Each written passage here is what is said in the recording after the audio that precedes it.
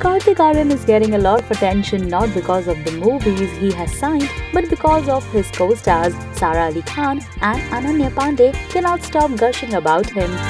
Recently, Kartik was seen on Neha Dhupia's chat show and was asked what he hates the most about Ananya. Kartik was super candid and quickly stated she loves and admires everything. He was also asked to top choose between Ananya and Sara Ali Khan, who he has also been linked to which he replied, I know Ananya better right now. I have been working with her off late. Kartik is reported to be dating either of the two.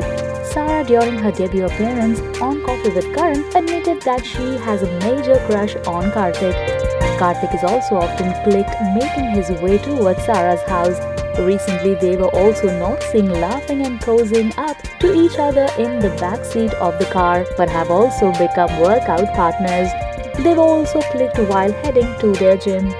Kartik is already doing films with Sara and Ananya separately. Kartik and Sara will be seen in an Imtiaz Ali directorial, the sequel of Love Aajkal, while Ananya Panday will star with him in the remake of Pati Patni Aur Wo.